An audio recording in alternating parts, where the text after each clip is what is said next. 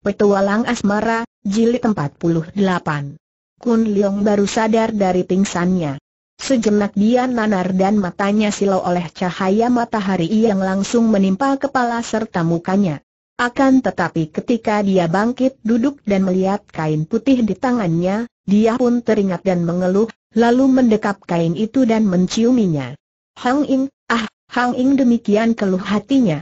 Dia hampir merasa yakin bahwa darah itu tentu telah tewas, menjadi korban badai yang mengamuk ganas semalam. Akan tetapi karena yang ditemukannya hanya kain penutup kepala gadis itu, hatinya masih penasaran. Sehari penuh tiada hentinya dia berkeliaran di sepanjang pantai mengelilingi pulau kecil itu untuk mencari kalau-kalau jenazah darah itu terdampar di pantai. Akan tetapi hasilnya sia-sia belaka. Akhirnya, dengan tubuh lemas dan sakit-sakit, dengan hati kosong dan tertekan hebat, Kun Liong terpaksa harus melihat kenyataan bahwa darah yang dicari-carinya itu memang tidak ada. Tentu sudah ditelan lautan yang mengganas semalam, atau ditelan ikan besar. Dia berdiri tegak memandang ke arah lautan, giginya berkerot, kedua tangan dikepal dan matanya menyinarkan penasaran dan kebencian ke arah lautan. Kalau lautan merupakan makhluk, tentu akan diserangnya pada saat itu. Kemudian dia sadar bahwa tidak baik menenggelamkan dirinya ke dalam kedukaan yang tidak ada gunanya. Jelaslah kenyataannya bahwa Pek Hang Ing telah lenyap. Sedangkan dia masih hidup. Teringat akan dirinya sendiri, masih terasalah nyeri pada seluruh tubuhnya dan ketika dia melihat keadaannya, baru dia sadar bahwa pakaiannya sudah koyak-koyak tidak karuan, juga sepasang sepatu yang dipakainya. Dan terasa pula betapa perutnya sangat lapar. Maka dia lalu meninggalkan pantai yang kosong sunyi itu, sekosong dan sesunyi hatinya, dan dia pun menuju ke tengah pulau untuk melakukan penyelidikan dan mencari pengisi perutnya yang juga kosong dan terasa sangat lapar itu. Sedapat mungkin dia mengusir bayangan Hang Ing yang selalu mengganggu pikirannya, dan kadang-kadang dia harus menyusut air batu yang meloncat keluar setiap kali dia teringat kepada darah itu. Sesudah diselidikinya, jelas ternyata bahwa pulau itu merupakan sebuah pulau kecil yang kosong. Pada tengah pulau terdapat sebuah bukit kecil yang penuh dengan pepohonan. Akan tetapi, kecuali belasan ekor jenis burung laut yang berterbangan di atas pulau, tidak ada seekor pun binatang di pulau itu. Dan tumbuh-tumbuhan yang berada di bukit itu pun terdiri dari jenis tumbuhan yang tak dapat dimakan. Di antaranya terdapat pohon-pohon besar yang sudah amat tua, dengan batang yang besar-besar. Hutan kecil itu liar dan gelap sekali, dan di situ terdapat banyak batu-batu karang yang merupakan goa-goa besar. Tetapi dia tak ingin menyelidiki tempat yang buruk dan sukar didatangi karena banyaknya semak-semak belukar itu. Terpaksa, untuk mengisi perutnya yang kelaparan, Kun Leong menangkap seekor burung besar dengan jalan menyambitnya dengan pecahan batu karang. Dipanggangnya daging burung itu dan biarpun rasanya tidak terlalu sedap, lumayan untuk mengatasi kelaparan. Akan tetapi, makan daging burung panggang ini mengingatkan dia kepada Pek Hang Ing ketika mereka berdua makan ikan panggang di dalam perahu peti mati.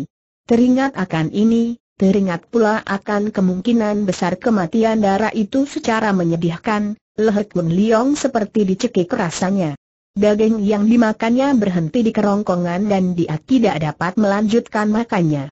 Sambil minum air tawar yang didapatnya di dekat rimba di tengah pulau, dia membuang sisa daging burung panggang itu ke laut, kemudian menghela napas dan dengan tubuh lemas dia mencari tempat teduh di belakang sebuah batu karang besar, menjatuhkan diri di atas pasir dan tak lama kemudian dia sudah jatuh pulas. Matahari sudah naik tinggi dan beberapa jam kemudian cahaya matahari telah melewati batu karang itu dan menimpa tubuh Kun Leong. Namun pemuda yang sudah mengalami kelelahan lahir batin yang amat hebat itu seperti sudah mati, tak merasakan lagi sengatan sinar matahari, tidur dengan nyenyaknya, sedikit pun tidak pernah bergerak.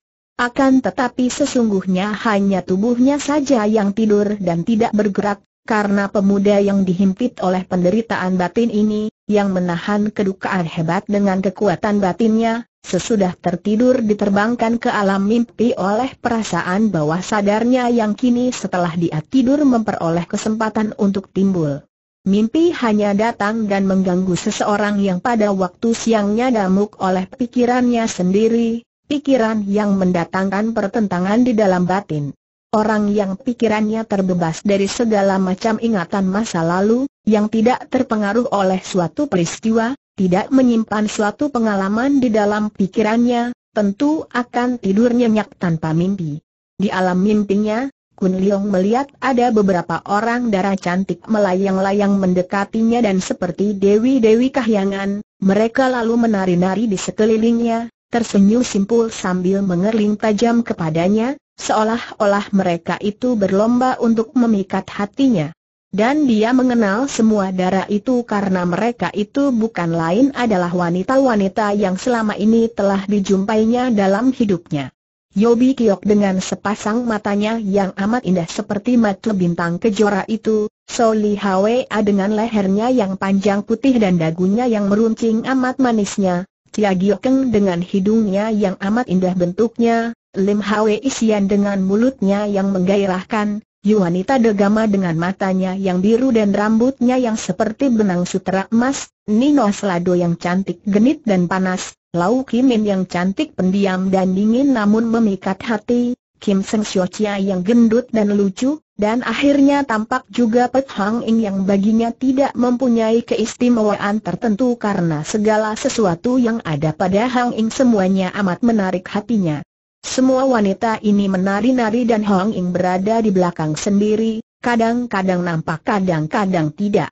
Akan tetapi dia hanya memandang mereka itu sepintas lalu saja, akhirnya dia mencari-cari dengan matanya ke arah Hang Ing dia ingin sekali agar darah yang berkepala gundul itu mendekat, akan tetapi apa daya, dia sendiri tidak dapat menggerakkan kaki tangannya.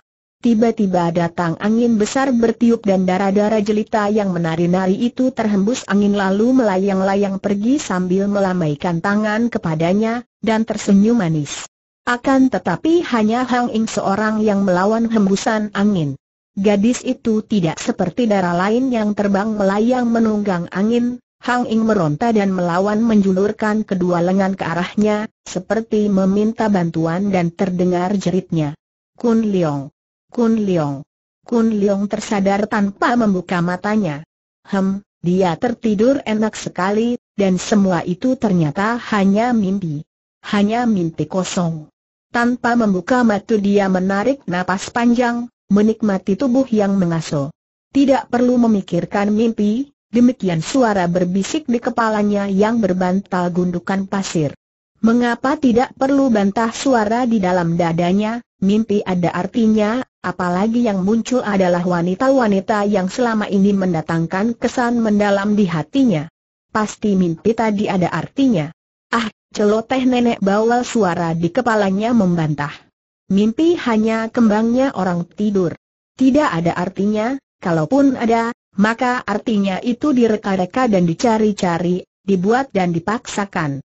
Sombong. Si Dungu berlagak pintar hatinya memaki. Pasti ada artinya. Bukankah para wanita itu pergi dengan senyum dan sebaliknya Hang Ing meronta dan minta pertolongan kepadanya? Itu tandanya cinta. Cinta hidungmu bantah pula suara di kepala. Tidak ada cinta yang murni, semua cinta palsu. Betapa banyaknya orang menderita karena cinta. Hanya orang tolol saja yang membiarkan dirinya terjerat cinta. Hanya orang totol yang akhirnya akan menderita karena cinta. Dia suka kepada wanita, kepada semua wanita yang cantik dalam mimpi tadi, dia suka kepada mereka seperti suka akan bunga yang indah dan harum, seperti suka akan makanan yang lezat, suka akan pemandangan alam yang permai. Akan tetapi cinta. Huh, sombong. Kalau tidak cinta, kenapa kau menderita setengah mampus akibat kehilangan Hang Ing? Itu tandanya cinta, tahukah kau, sombong hatinya menjerit marah. Hem, apa sih artinya cinta?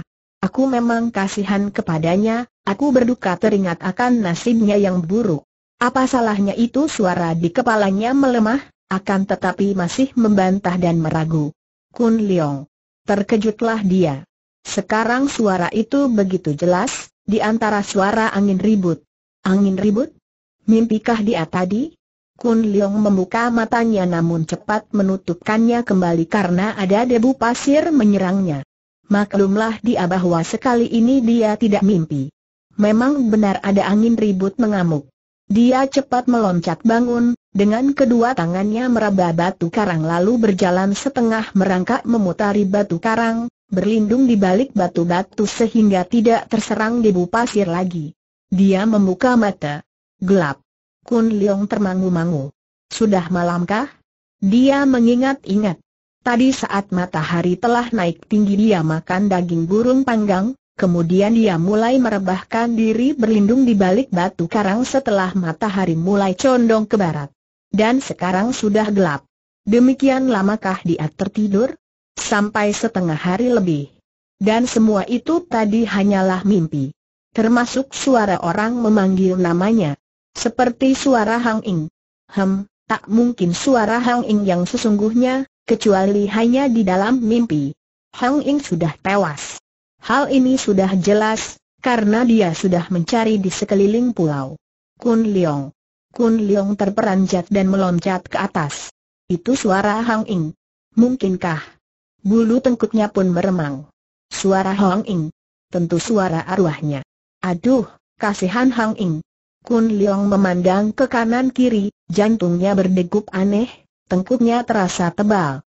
Dia sudah siap untuk melihat roh darah itu memperlihatkan diri, seperti asap, seperti yang pernah didengarnya di dalam cerita dongeng. Apakah yang menjumpainya di dalam mimpi tadi juga roh para gadis itu? Dan memang Li Hwa sudah mati, juga Hang Ing, akan tetapi yang lain-lain bukankah masih hidup? Kun Leong. Ahaha. Kun Leong suara itu merupakan jerit melengking, disusul rintihan dan isak tangis, lapat-lapat terdengar lalu lenyap lagi. Datang terbawa angin. Dari tengah pulau. Hang Ing Kun Leong meloncat. Tidak peduli lagi akan kegelapan, dia berlari terus ke depan, ke arah suara tadi, ke arah tengah pulau, tidak peduli dia tersaruk-saruk, jatuh bangun beberapa kali. Tak peduli lagi apakah yang menjerit itu setan ataukah iblis. Yang jelas, itu adalah suara Hang Ing. Dan Hang Ing menangis. Dia harus menolong Hang Ing, baik Hang Ing yang masih hidup atau Hang Ing yang sudah menjadi roh. Jelas bahwa Hang Ing memanggilnya, membutuhkan pertolongannya. Hang Ing dia berteriak-teriak memanggil ketika sudah berada di atas bukit, di dalam hutan yang kecil namun lebat itu, menghadapi goa-goa di batu karang yang membukit. Kun Leong. Biarpun hatinya girang bukan main mengenal suara darah itu, namun meremang juga bulu tengkuk Kun Leong. Suara setankah yang menirukan suara Hang Ing? atau roh gadis itu yang menjadi penasaran lantas berkeliaran di pulau dan menemukan tempat tinggal di dalam goa itu? Hang Ing dia memanggil lagi sambil melangkah mendekati goa. Kun Leong. Kun Leong meloncat masuk.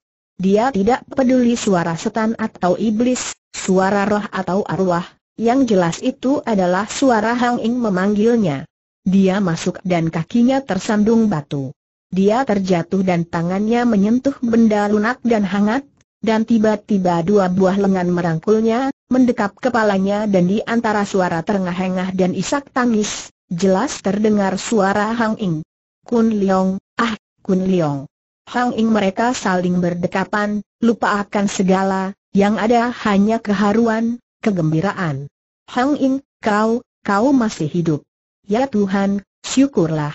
Kun Leong, ah, Alangkah lamanya aku menantimu di sini. Sampai serak suaraku terus memanggil-manggilmu, kukira engkau sudah mati, aku tidak mempunyai harapan lagi, kakiku terkilir, tak dapat berjalan, tubuhku nyeri semua, perutku lapar bukan main.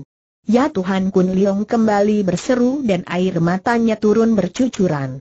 Untung di dalam gelap, kalau tidak tentu dia akan merasa malu kepada Hang Ing dan teringat betapa dia memeluki tubuh itu, bahkan kalau tidak salah ingat dia tadi menciumi muka itu, mengecupi air mata yang asin itu, dia merasa malu dan cepat dia melepaskan rangkulannya.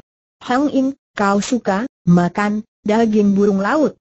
Biarpun keadaan gelap di situ, namun terasa oleh Kun Leong betapa Hang Ing terbelalak heran, dan dia girang sekali. Daging burung laut gadis itu bertanya, suaranya ragu-ragu seakan-akan dia merasa sangsi apakah pemuda itu waras pikirannya. Ya, daging burung laut dipanggang. Aku sudah makan daging itu siang tadi. Kalau kau suka, aku akan menangkap seekor untukmu. Hang Ing menghela napas panjang, sangat jelas terdengar oleh Kun Leong, mengingatkan dia bahwa di luar goa angin ribut sedang mengamuk. Mengingatkan dia betapa canggung dan lucu penawarannya tadi. Malam gelap begitu, angin ribut pula, Bagaimana mungkin dia bisa menangkap seekor burung untuk Hang Ing? Mengapa orang yang berada dalam kegirangan besar, seperti juga dalam kedukaan besar, bicaranya lalu menjadi kacau tidak karuan? Besok sajalah, Kun Leong. Aku belum mati kelaparan, hanya kakiku, audah.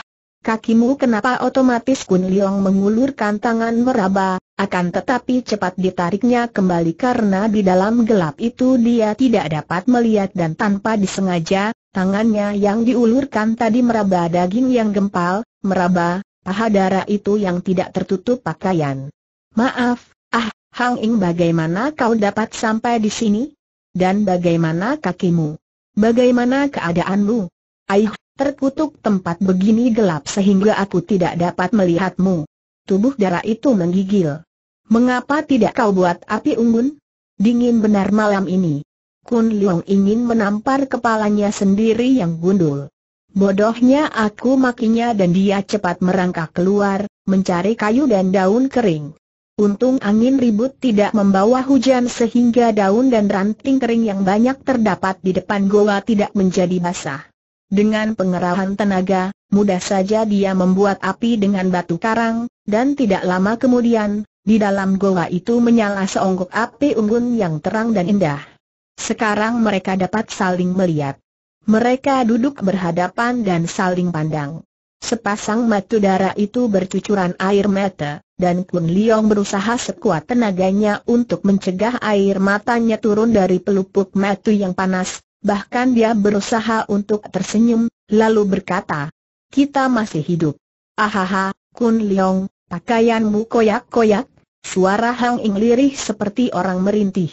Kun Leong melihat kepada pakaiannya dan tersenyum, lalu memandang pakaian darah itu, menuding dan berkata, pakaianmu sendiri pun tidak utuh, Hang Ing, walaupun pakaian darah itu tidak sehebat pakaiannya mengalami kerusakan, akan tetapi tak dapat dikatakan utuh pula, banyak bagian yang terobek lebar sampai paha dan pundaknya kelihatan. Dan tubuhmu, ah, babak belur dan lecet-lecet. Lihat dahimu itu, berdarah, dan lengan kirimu, ah, paha kananmu juga mengeluarkan darah sampai celanamu merah semua. Kun Leong suara darah itu semakin gemetar dan pandang matanya penuh iba ditimpakan ke seluruh tubuh Kun Leong. Kun Leong merasa betapa bulu tengkuknya berdiri, akan tetapi bukan meremang karena ngeri seperti tadi, melainkan karena terharu menyaksikan sikap Hang Ing dan mendengar suara darah itu. Hang Ing, kau sendiri pun babak bundas, ujung bibir kirimu pecah-pecah, pundakmu dan lenganmu, dan, dan bagaimanakah dengan kakimu? Uh, kaki kiriku, agaknya terkilir di belakang macu kaki, tidak dapat dipakai berjalan, digerakkan sedikit pun sakit. Coba ku periksa, maaf, Kun Leong memegang kaki itu dan Hang Ing menggigit bibirnya menahan rasa nyeri. Memang terkilir. Agak hebat. Membengkak di bagian metu kaki itu, dan biru kehitaman oleh darah yang terkumpul di dalamnya. Hang Ing, maukah engkau menahan sakit sedikit? Tulang kaki ini keselo dan tergeser sehingga letaknya harus segera dibetulkan kembali. Kalau tidak, akan lama sembuhnya dan mungkin menjadi cacat. Hang Ing mengangguk dan memandang kepada Kun Leong yang sekarang menggunakan kedua tangannya memegang kaki itu. Tangan kanan memegang bagian atas dan tangan kiri memegang bagian bawah. Siaplah, Hang Ing, sakit akan tetapi hanya sebentar, tiba-tiba dia membuat gerakan menarik dan krek. Terdengar suara dan teriakan Hang Ing yang merasa nyeri bukan main. perasaan nyeri yang rasanya menusuk sampai ke ulu hati, membuat seluruh tubuh darah ini menggigil dan keringat dingin membasahi dahinya. Matanya terbelalak dan di atas pipinya yang pucat nampak air mata. Sekarang letaknya sudah baik. Harus dibalut erat-erat. Kun Leong lalu merobek bajunya yang memang sudah koyak-koyak, lalu membalut metu kaki itu dengan ketat. Ketika dia selesai dan mengangkat muka, dia melihat betapa darah itu tadi menderita nyeri yang hebat, napasnya masih naik turun, bibirnya berdarah sedikit karena pecah digigitnya sendiri. Kasihan kau. Hang Ing, Kun Leong mendekat dan menggunakan tangannya menyapu keringat dari dahi yang halus itu. Terima kasih, Kun Leong, kau memang baik sekali. Hem, dalam keadaan seperti ini kau tidak perlu memuji, Hang Ing yang ingin sekali kudengar adalah ceritamu, bagaimana engkau bisa sampai di tempat ini. Kukira tadinya kau mati. Memang aku lebih baik mati daripada hidup, bahkan sebelum bertemu dengan engkau aku mengharapkan kematian saja, Kun Leong. Mengapa? Mengapa? Hem, kau tidak tahu betapa ngeri rasa hatiku, betapa tidak berdaya sama sekali, seolah-olah menanti datangnya maut tanpa daya sedikit pun juga. Pada waktu kita diamuk badai dan agaknya perahu kita dihempaskan pada batu karang, aku tidak tahu apa-apa lagi. Hang Ing mulai bercerita, dan Kun Leong tentu saja maklum akan keadaan ini karena dia sendiri pun tidak ingat apa-apa lagi setelah itu, tahu-tahu dia berada di atas pasir pantai. Ketika aku siuman, aku sudah berada di pantai, untung bahwa kepalaku berada di luar jangkauan air sehingga aku tidak mati tenggelam. Aku memanggil-manggilmu, keadaan gelap sekali malam itu, akan tetapi suaraku lenyap di telan angin dan kau tidak menjawab. Aku menyeret kaki kiriku yang nyeri sekali ke darat, dan karena aku takut akan diserang binatang buas, aku terus merangkak sekuat tenaga sambil terus memanggil-manggilmu. Akhirnya aku berhasil masuk ke gua ini dan kembali aku tidak ingat apa-apa lagi. Setelah siuman untuk kedua kalinya, matahari sudah naik tinggi. Kakiku tidak dapat digerakkan, seluruh tubuh sakit, perut lapar sekali dan, dan, pada saat itu aku ingin mati saja, Kun Leong. Aku mengira bahwa engkau tentu telah mati. Aku sendiri tidak mampu bergerak. Tentu aku akan mati kelaparan. Betapa ngerinya. Maka aku lalu menangis sampai habis air mataku. Aku menjerit-jerit memanggil namamu, tapi percuma saja. Malam tiba dan aku masih tetap menjerit dan menangis dan akhirnya, akhirnya, kau datang juga. Sepasang mata itu terbuka lebar, kembali dua titik air mata, turun, gigi yang rapi dan putih itu menggigit bagian dalam dari bibir bawah, Sedangkan cuping hidungnya bergerak-gerak membayangkan keharuan hati. Aduh, kasihan sekali kau, Hang Ing tahukah engkau betapa aku juga sudah merasa putus harapan, mengira engkau tentu telah tewas ketika aku menemukan kain penutup kepalamu. Dan tahukah engkau betapa suara panggilanmu tadi terbawa di dalam mimpi sehingga aku mengira bahwa rohmu yang memanggilku Kun Liong lalu menceritakan pengalamannya dan tentu saja dia tidak menyebut-nyebut tentang mimpinya dan tentang perbantahan antara pikiran dan hatinya. Berkat rawatan Kun Liong yang penuh ketelitian, belasan hari kemudian sembuhlah kaki kiri Hang Ing yang terkilir. Dia sudah dapat berjalan walaupun masih agak terpincang-pincang. Mereka berdua kini berusaha untuk menyesuaikan diri di pulau kosong itu. Jika memang pulau ini tidak memenuhi syarat untuk dijadikan tempat tinggal selama kita bersembunyi, kita akan mencari pulau lain, demikian kata Kun Leong. Bagaimana cara mencarinya? Perahu peti mati itu sudah lenyap, lagi pula aku merasa ngeri kalau harus masuk ke dalam perahu peti mati itu lagi. Kun Leong tersenyum. Aku dapat membuat perahu dari batang pohon besar di rimba itu. Akan tetapi jika ada bahan makanan lain di pulau ini, kita tidak perlu mencari pulau lain. Pulau ini cukup indah dan hawanya pun nyaman. Dan kita hidup di sini seperti orang-orang hutan? Seperti orang liar tak beradab. Kun Leong tersenyum memandang. Mereka saling berpandangan dan akhirnya keduanya tertawa geli. engkau memang pantas sekali menjadi seorang putri hutan. Pakaianmu tak karuan dan ringkas akan tetapi, pantas dan manis sekali. Kakimu tidak bersepatu, dan rambutmu, hem, rambutmu mulai tumbuh dengan suburnya, Hang Ing. Dan kau, kau memang seperti seorang manusia di zaman batu. Hanya memakai celana yang pantasnya disebut cawat, badan tanpa baju, kulit terbakar sinar matahari. Wah, kau kelihatan kuat dan sehat, Kun Leong. Dan kepalamu, hai hik hik, kepalamu bersih sekali sampai mengkilap. Kun Leong tersenyum lebar. Baru saja aku mandi dan kugosok dengan bunga karang. Segar sejuk rasanya, dia mengelus-elus kepala gundulnya. Mereka duduk berteduh di dekat batu karang besar, berlindung dari sinar matahari yang sudah mulai naik tinggi.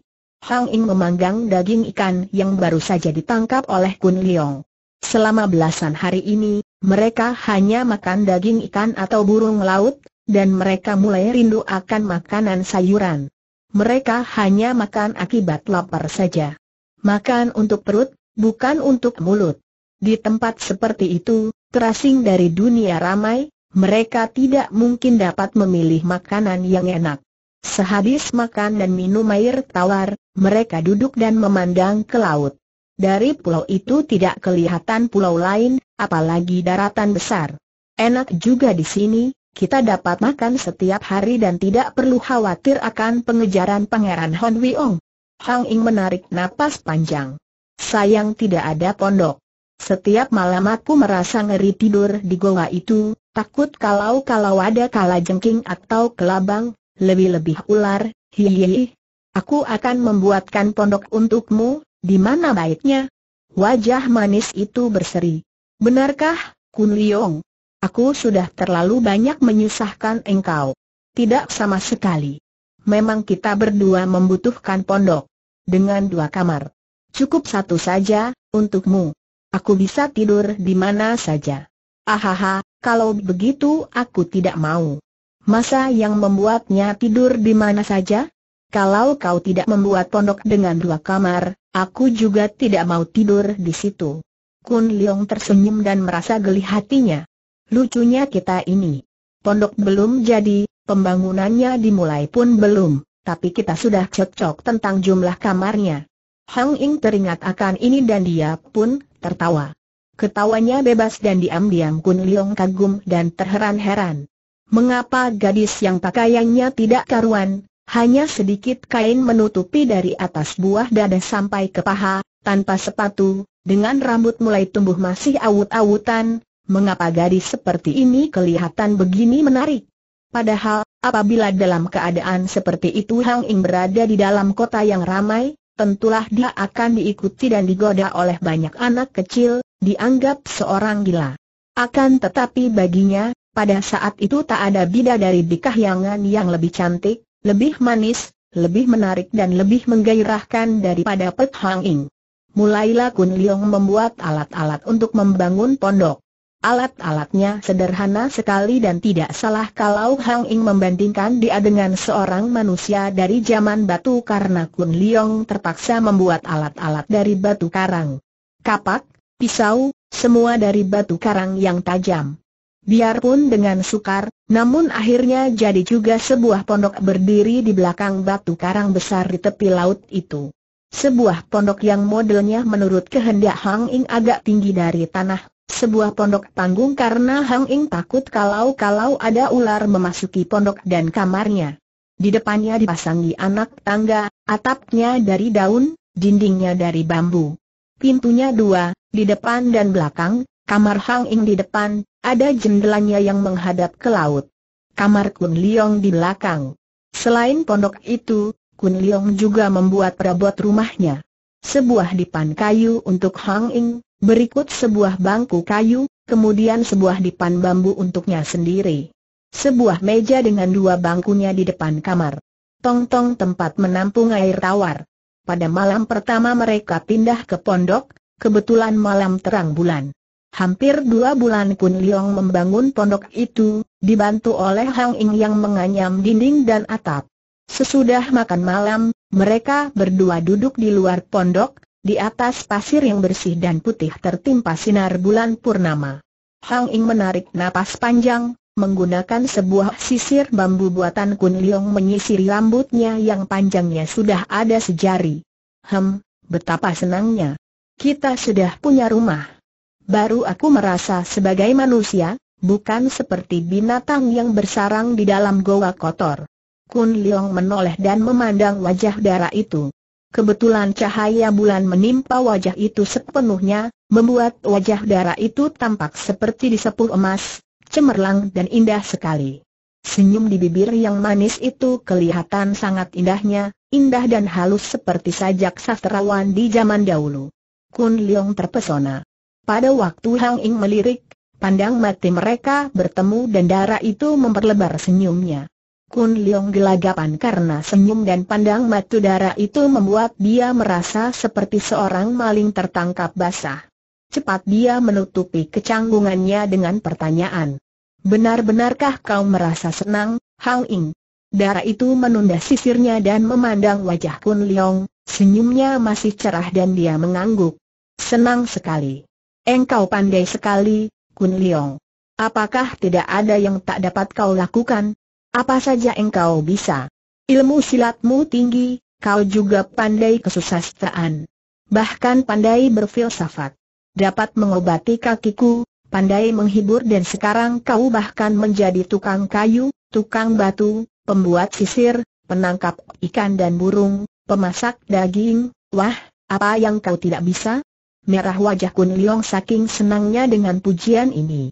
Dia menunduk dan sambil tersenyum dia berkata, ahaha, kau melebih-lebihkannya saja. Sebuah pondok butut seperti ini. Tapi kokoh kuat, bukan, Kun Liong? Ya, cukup kuat. Tak usah kau khawatir. Ular dan segala binatang takkan dapat masuk. Lagi pula, di sini tidak ada binatang buasnya. Kau memang pandai dan rendah hati. Kun Liong senang sekali, kepalanya menunduk.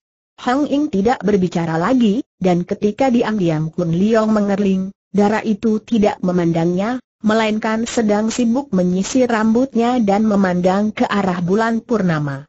Betapa indahnya gerakan itu menyisir rambut. Kepalanya agak dimiringkan sehingga separuh mukanya tertimpa cahaya bulan.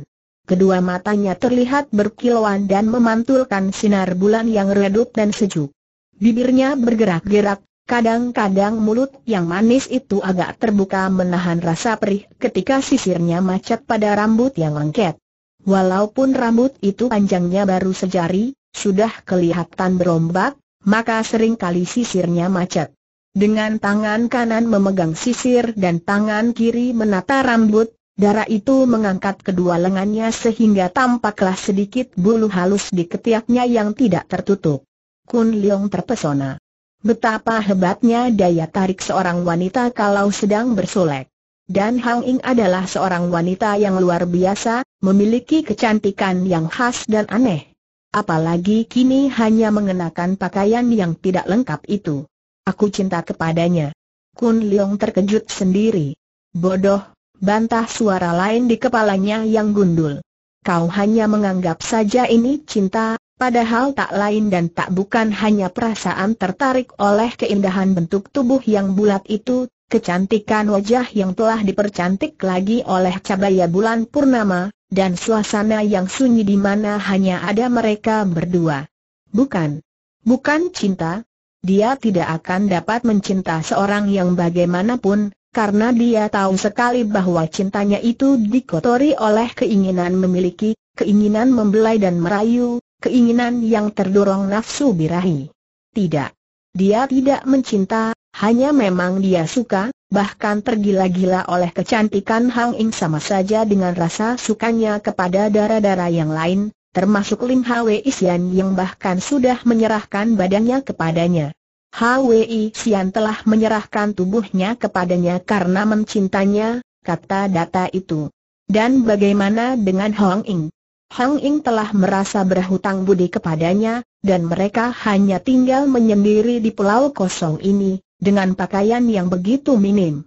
Bagaimana kalau mereka berdua terseret oleh godaan nafsu birai? Tidak boleh. Hang Ing terkejut sekali, Sisirnya hampir terlepas ketika mendadak Kun Leong menampar kepala gundulnya sendiri. Kun Leong sendiri merasa terkejut dan baru sadar bahwa dia tadi menjadi begitu gemas kepada dirinya sendiri sampai dia menampar kepalanya. Eh haha, ada apakah? Tentu saja wajah pemuda itu menjadi merah sekali, merah sampai ke kepalanya bukan hanya merah karena tamparannya.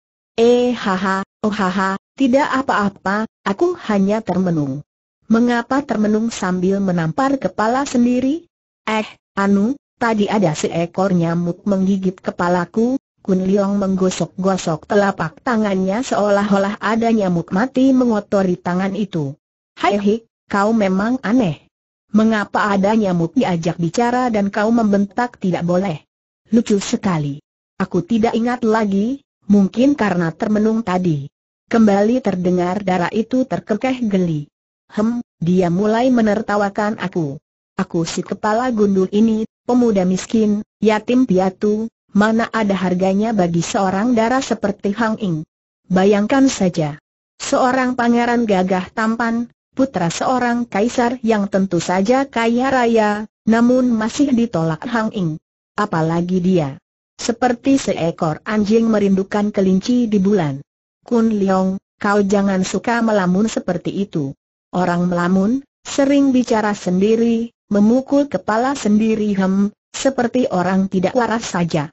Ahaha, dia bahkan mulai mengatakan aku tidak waras, sama dengan memaki gila. Memang, kadang-kadang aku seperti gila, Hang Ing.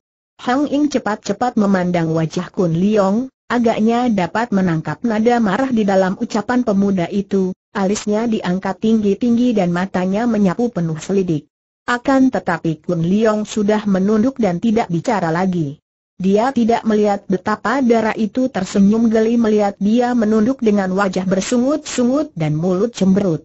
Hening sampai agak lama. Kadang-kadang apabila Kun Liong mencuri pandang dengan kerling sekilat, dia melihat darah itu masih bersilat dan menengadah, memandang ke bulan. Rasa mendongkol di hati Kun Liong tidak dapat bertahan lama.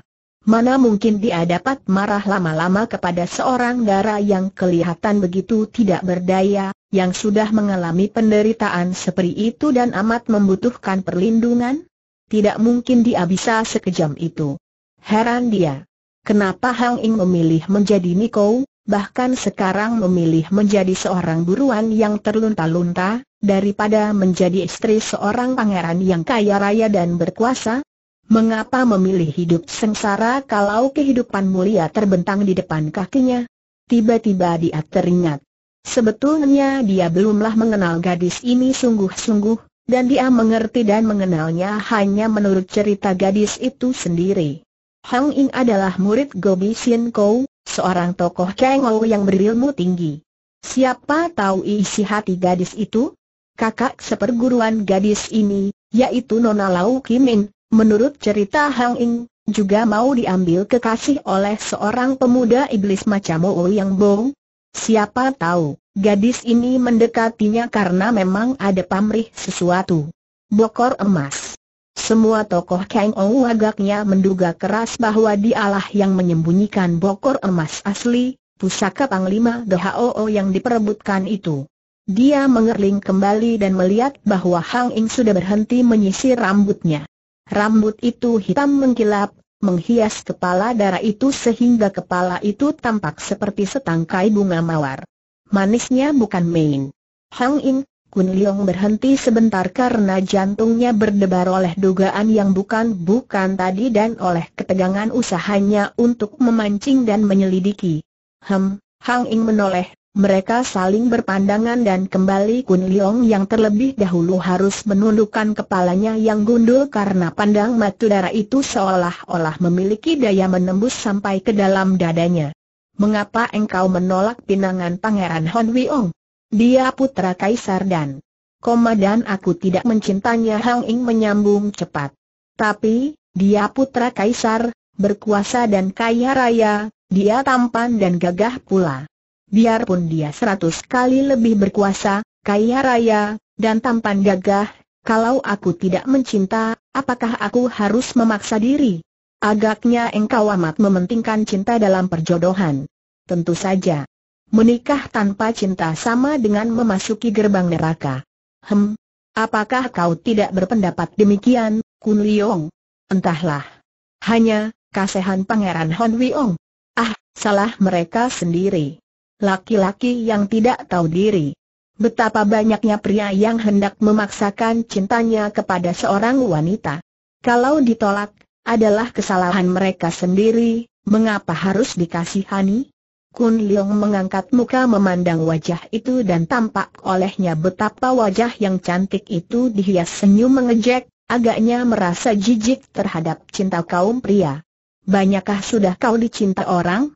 Banyak sekali. Hem, mengapa mengeluh? Pantas kau berani menolak cinta seorang pangeran. Kiranya banyak pria yang tergila-gila kepadamu. Apa salahnya? Tidak apa-apa, aku hanya, hem, tidak ada seorang pun yang mencintaku.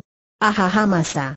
Kau seorang pemuda yang gagah dan tampan, pandai mengendalikan diri, berbudi mulia suka menolong orang lain tanpa pamrih. Betapapun, tidak ada yang mencintaku seperti begitu banyak pria mencintamu. Kalau ada yang mencintamu, tidak mungkin. Gundul miskin seperti aku, lebih pantas disebut jembel, mana mungkin. Ahaha, betapapun juga aku tidak sudi menikah selama hidupku. Hei, mengapa? Perempuan di dunia ini sama saja.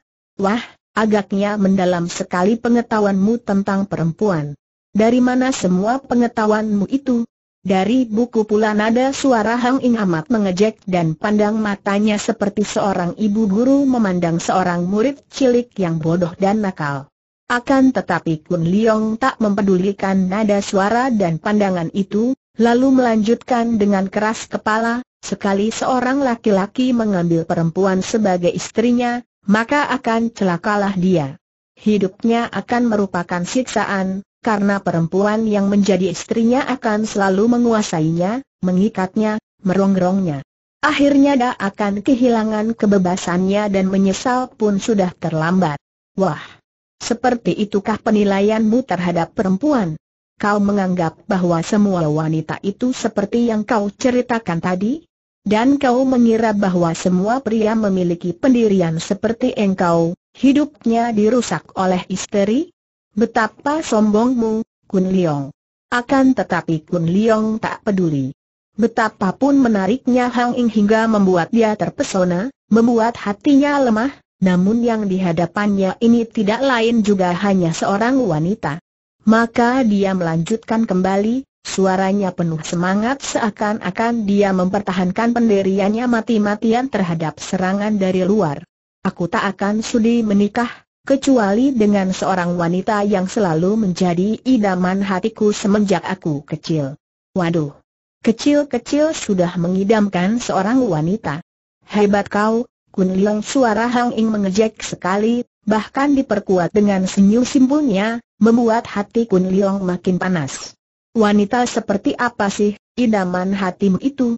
Aku baru mau menikah dengan seorang wanita yang halus budi bahasanya, Manis tutur sapanya, lemah lembut geraknya, suaranya seperti nyanyian burung di waktu pagi, tutur sapanya bagaikan hembusan angin lalu sepoi sopi, gerak-geriknya seperti batang pohon yang liu tertiup angin, tidak hanya cantik jelita pada lahir saja, melainkan lebih cantik lagi di batinnya, penyabar, ramah, tidak pernah cemburu, keibuan, taat, setia, dan pendeknya, wanita yang luar biasa tidak ada cacat celanya, seperti bidadari kahyangan yang diceritakan di dalam dongeng. Seperti, seperti Kuan Impo Wesat sendiri. Seperti, ah, perempuan idamanmu itu harus dilahirkan lebih dulu, Kun Leong. Tian harus membuat perempuan itu khusus untukmu seorang, untuk seorang pria sombong yang sesombong-sombongnya, tolol yang setolol-tololnya dan, dan, maaf, Hang Ing, Kun Liong terkejut juga melihat darah itu bangkit berdiri, menegakkan kepala dan matanya seperti dua bola api hendak membakarnya. Seluruh sikapnya jelas menunjukkan kemarahan yang ditahan-tahan, adapun suaranya bercampur napas sesak seperti mau menangis. Komandan, dan, Perutku menjadi mual melihatmu setelah melontarkan kata-kata terakhir itu, dengan langkah gontai, dengan pinggul menonjol pada terbayang di balik kain yang sederhana dan pendek itu, Hang Ing pergi meninggalkan Kun Leong, menaiki anak tangga lalu masuk ke pondok kecil itu. Terdengar dia menutupkan pintu kamar keras-keras, dan tampak dari luar daun jendela juga dihempaskan kuat-kuat. Kun Leong masih duduk di pasir, bengong terlongong memandang ke arah pondok, hatinya bingung sekali. Akhirnya dia pun menarik napas panjang, menekan penyesalan hatinya. Kenapa dia harus menyesal melihat Hang Ing marah-marah? Biarlah, bila darah itu merasa sakit hati, dia sudah menguras isi hatinya, sudah mengemukakan pendapatnya tentang wanita. Dia tidak akan jatuh cinta seperti pria-pria tolol itu, seperti Pangeran Hon Wiong, seperti Yuan, dan yang lain-lain. Dia ingin terus bebas. Kembali dia menarik napas panjang. Betapa sunyinya setelah Hang Ing pergi ke pondok. Alangkah menjemukan keadaan sekelilingnya. Cahaya bulan tidak gemilang seperti sinar keemasan lagi, melainkan mendatangkan kepucatan yang hampa. Mengapa dia menyesal telah menyakitkan hati Hang Ing? Bukankah darah itu malah yang menyakitkan hatinya? Mula-mula mengatakannya tidak waras alias gila. Kemudian apa yang dikatakannya dalam kalimat-kalimat terakhir ketika marah tadi? Bahwa dia adalah seorang pria yang sombong sesombong-sombongnya, tolol setolol-tololnya dan bahwa dia memualkan perutnya. Hem keluhan ini keluar dari dadanya menyesak kerongkongannya. Dia menengadah. Bulan purnama tersenyum mengejek kepadanya, seperti senyum Hang Ing yang tadi mengejeknya. Dia memandang marah. Ingin dia dapat melumuri muka bulan dengan pasir di tangannya. Akan tetapi awan membantunya. Awan putih tebal merayap lewat, menyembunyikan bulan yang kini hanya tampak sebagai bulatan yang pucat tak berdaya. Seperti Hang Ing. Darah itu menderita hebat. Di pulau kosong, hanya bersama dia, namun apa yang sudah dia lakukan? Menyakitkan hatinya. Ah, betapa kejamnya dia. Biarpun dia tidak mau jatuh cinta kepada wanita mana pun juga, akan tetapi tidak selayaknya dia menyakitkan hati Hang Ing seperti itu.